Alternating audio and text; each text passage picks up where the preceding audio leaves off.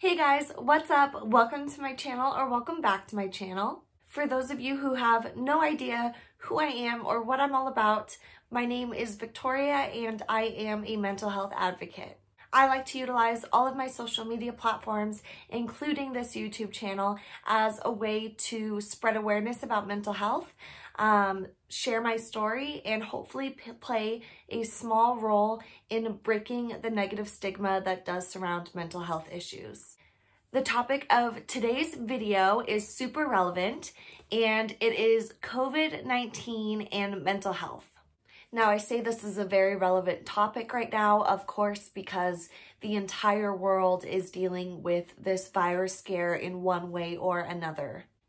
Especially people who have previously dealt with mental health issues. Um, they are now dealing with heightened levels of anxiety and depression and things like that. But even if you are someone who has never had any experience with mental health issues, it's very likely that everything going on with this virus right now will affect your mental health in one way or another. Just to give you guys like a tiny little story of one way that it has affected me this past week, not only am I dealing with heightened levels of anxiety and depression, but um, of course with this shelter in place everywhere, businesses are not operating like normal. And I had a very important business matter the last week that needed to be dealt with with the DMV. And since they are not taking walk-ins, they are by appointment only. And there are no appointments currently available. So despite being on hold on the phone for multiple hours, I was never able to get through to anybody and speak with anybody over the phone. Therefore, my business matter was not dealt with um, by the deadline. So of course that results in me being extra stressed out, extra anxious. But I have faith. I know God will help me in this situation and I know that I know that um, my business matter will be taken care of eventually. But to start off this video, I wanted to share um, two Bible scriptures that I think uh, will really speak to you regarding everything that's going on in the world right now. So let me go ahead and share those with you. The first one is, even though the fig trees have no blossoms and there are no grapes on the vines, even though the olive crop failed and the fields lie empty and barren, even though the flocks die in the field and the cattle barns are empty, yet I will rejoice in the Lord. I will be joyful in the God of my salvation. The Lord gives me strength. He makes me sure-footed as a deer, able to tread upon the heights. And the second one is, at times I might shut up the heavens so that no rain falls, or command grasshoppers to, to devour your crops, or send plagues among you. But then if my people who are called by my name will humble themselves and pray and seek my face and turn from their wicked ways, I will hear from heaven and will forgive their sins and restore their land.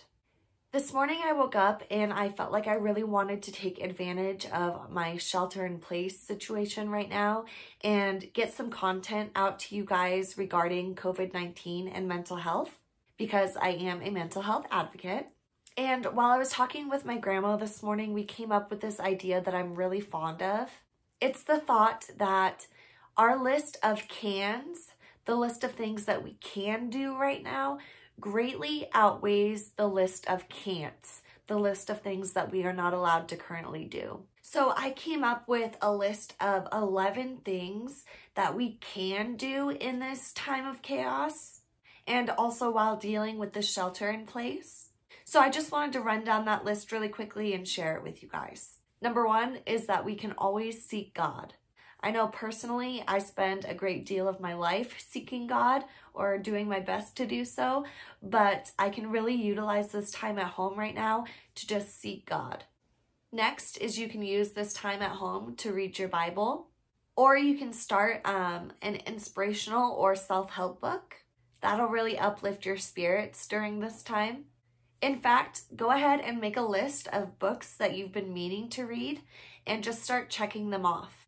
It'll feel so good and it'll also help you feel productive during this time. Blast your praise and worship music. Jam out to it in your house and worship God at the same time. Even though it's um, churches right now are not currently holding their normal church services, you can jump online and watch the Sunday service online. That way, you're not missing out on your Sunday services. You can still go on walks and you can spend time outside on your own property. You can use this time to meditate. If you are not familiar with meditation, there's tons of YouTube videos out there that walk you through the meditation process. You can still say your daily affirmations. Even during my normal life, I try to say my daily affirmations daily. Um, they really just set the tone to my day and just put such a positive spin on my mindset. And lastly, we are still in charge of deciding how we are going to deal with this sense of fear. You have to remember faith versus fear. Which one is going to be greater? I know I'm going to work really hard on making my faith greater than my fear. Oh, and one more thing pray. If anything, just pray for this world right now. Everybody with the title human needs prayer right now. Well, guys, that's the list of cans that I came up with, things that we can productively do um, during this time. And of course, there's endless ideas that you can come up with on how to spend this time while we're dealing with the shelter in place. You can spend time with your family members. You can play board games. You can watch some movies you've been wanting to watch. And you can also binge watch Netflix. And if there's family members that you're not currently able to physically be with right now, remember social media is a great tool to stay connected. And like I said in the beginning of this video, right now, anybody that has history with dealing with mental health issues is probably suffering a little bit more, probably dealing with heightened levels of depression and anxiety. But even people that have no past history with mental health issues are probably experiencing similar heightened levels of anxiety and depression. So let's all just remember to stay as positive as possible and always spread love. I've seen a lot of people recently posting on Facebook that um, if anybody out there is in need of something, to please reach out to them and they will do their best to accommodate that need. And that just really touched my heart. I think that's so sweet and a great way to spread love and positivity. Well, guys, that's pretty much it for this video. This one's going to be on the shorter side, but I just wanted to get straight to the point. Any um, chance that I get to hop on here and talk about mental health, I try to take full advantage of that. The most important thing is to keep the conversation going. Mental health issues are not easy to talk about. So anytime I have the courage or the desire to jump on here and discuss these hard topics with you, like I said, I always try to take full advantage of that. Thank you guys so much for watching this video and to anybody that shares it or comments on it, thank you guys so much. I really appreciate all the love and support that I receive on the daily. Oh, and one more thing, all of my social media links are up in my banner and they are clickable links. So if you want to connect with me on any of my other social media platforms, that's the way to do it. All right, guys, I am wishing you um, safety and health and all the positivity in the world right now. Stay safe out there, guys, and I will catch you in the next one. Bye.